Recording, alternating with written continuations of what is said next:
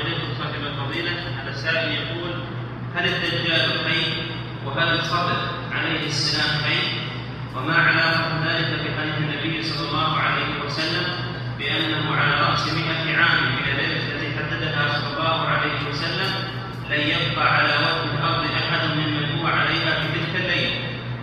نعم أما الخضر فهو ميت. اللي يقول إنه حي خطأ ما هو ما هو حي ميت. أن الله سبحانه وتعالى يقول وما جعلنا لبشر من قبلك الخلد أفإن مت فهم الخالدون.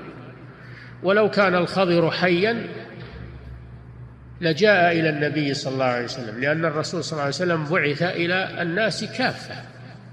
فلو كان حيا لجاء إلى النبي صلى الله عليه وسلم. الخضر ميت. واللي يعتقدون أنه حي هذه خرافة.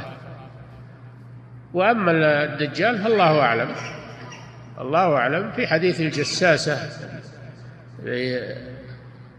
الذي في الصحيح ما يدل على أنه حي وأنه في مكان خاص. لك جاء في الحديث. والله أعلم. وأما حديث الرسول صلى الله عليه وسلم أنه آه، على رأس كل مئة سنة ما يبقى أحد حي. يعني أن الأعمار ما تتجاوز في الغالب مئة سنة.